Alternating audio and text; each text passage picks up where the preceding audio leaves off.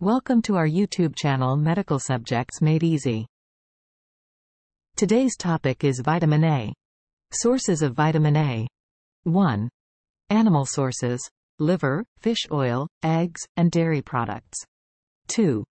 Plant sources. Carrots, sweet potatoes, spinach, kale, broccoli, and mangoes. 3. Fortified foods. Certain cereals and margarines. Functions of vitamin A. 1. Vision. Vitamin A plays a crucial role in maintaining good eyesight. It helps convert light into electrical signals that are sent to the brain, allowing us to see in dim light and improving night vision. 2. Cell growth and reproduction.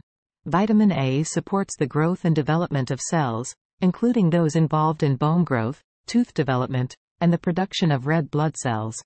3. Immune system. It helps maintain the integrity and function of the skin and mucous membranes, which act as barriers against harmful pathogens. 4.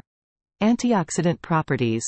Vitamin A acts as an antioxidant, protecting cells against damage caused by free radicals, reducing the risk of chronic diseases such as heart disease and cancer. Requirements of vitamin A. 1. Recommended daily allowance, RDA, for adults, 700,900 micrograms per day for men and 600,700 micrograms per day for women. 2. Pregnant and lactating women may require higher amounts of vitamin A. 3. Infants and children have different recommended daily intakes, ranging from 300,900 micrograms depending on their age.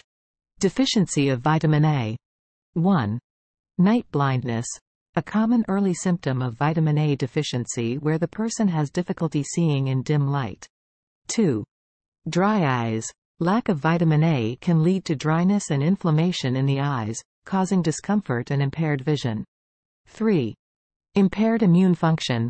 Vitamin A deficiency weakens the immune system, making individuals more susceptible to infections, particularly respiratory and gastrointestinal infections. 4. Delayed growth. In children, vitamin A deficiency can lead to stunted growth and delayed bone development. Excess of vitamin A. 1. Hypervitaminosis A. Consuming excessive amounts of vitamin A, either through supplementation or high intake of animal liver, can result in toxicity. Symptoms can include nausea, vomiting, headache, dizziness, and blurred vision. 2. Birth defects. Pregnant women who consume excessive amounts of vitamin A can increase the risk of birth defects in their babies. 3. Bone abnormalities. Long-term excessive intake of vitamin A can lead to weak and brittle bones, increasing the risk of fractures. If you found this video interesting please like this video and subscribe to the channel. Thank you.